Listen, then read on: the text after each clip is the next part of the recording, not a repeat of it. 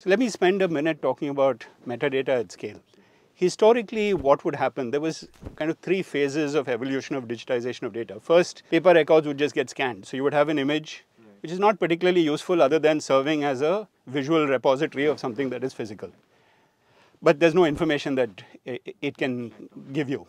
We then went into digitization, which you're able to extract a few fields, either using some kind of OCR technology or, uh, or manually enter a few fields as you digitize documents.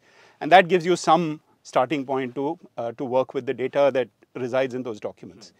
Now we have moved to a stage where we can interrogate documents in natural language queries and really start working with those documents as though they were a conversational partner. Mm -hmm. This has been made possible with all the Gen AI technologies that have come in, and that's what is embedded in DXP. So when DXP looks at a document, it's able to extract metadata of all kinds. You don't need to know what problems you want to solve five years down the line, which was the problem we had historically.